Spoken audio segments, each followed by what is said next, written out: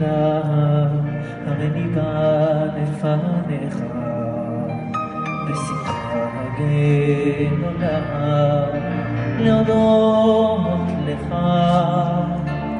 על שהחיינו וקיימנו והגיענו לזמן הזה.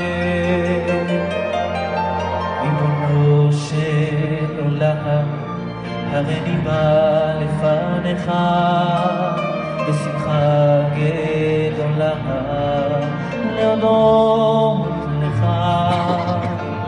על שהחיינו וקיימנו והגיענו לזמן הזה. תזכנו להקים בית נאמן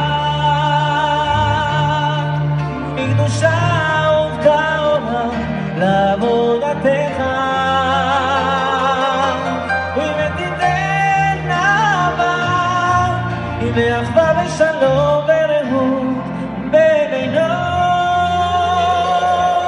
תזכנו להקים בית נאמן בקדושה ובטהרה לעבודתך